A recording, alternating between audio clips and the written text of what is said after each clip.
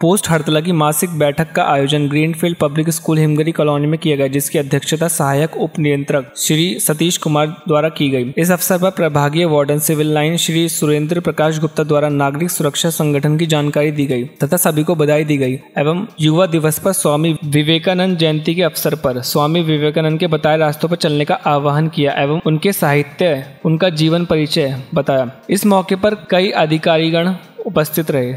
सभा का संचालन staff officer post warden Sharif Ahmad ने किया। इस अवसर पर नवंबर माह में फायर फाइटर की ट्रेनिंग ले चुके छात्र छात्रा को सतीश कुमार द्वारा प्रमाण पत्र भी दिए गए।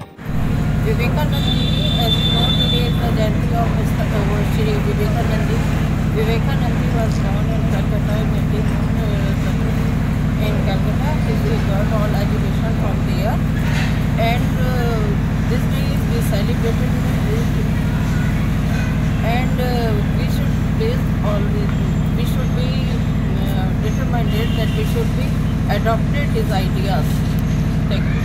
अपनी पुस्तकों में भी बहुत पढ़ा होगा आपकी टीचर्स ने भी आप लोगों को बताया होगा हमें स्वामी विवेकानंद जी के जीवन से प्रेरणा मिलती है, उत्साह मिलता है और आगे बढ़ने की हमें अपने लोगों को शक्ति मिलती है इसीलिए हम लोग हर तिथि पर इनकी पुण्य तिथि पर इनकी जन्म तिथि पर हम इनको याद करते हैं और इनके बताए हुए मार्गों पर चलने का प्रयास भी करते हैं। आप लोग स्वामी विवेकानंद जी के विषय में जानकारी लीजिए, पढ़िए और उनके बताए हुए मार्ग पर चलने का प्रयास करो और आगे बढ़ो। आज युवा दिवस के रूप में हम इस जयंती को मनाते हैं और पूरे शहर में क्या पूरे देश में इस जयंती को मनाया जाता है। जय हिंद। विवेकानंद जयंती को हम सब लोग मना रहे हैं और देश के हर कोने कोने में ये जयंती मनाई जाती है। हमें विवेकानंद जी के आदर्शों पर चलना है और इनको पढ़ने की ज़रूरत है।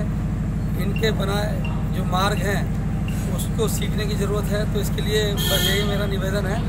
ये इस विद्यालय के जो बच्चे हैं, इनके विषय में पढ़ें। और इनके आदर्शों पर चलने का प्रयास करें और निश्चित तौर पर इनसे हमें बहुत कुछ सीखने के लिए मिलेगा। इसी के साथ सभी को बहुत बहुत बधाई देता हूँ। जय हिंद, जय भारत।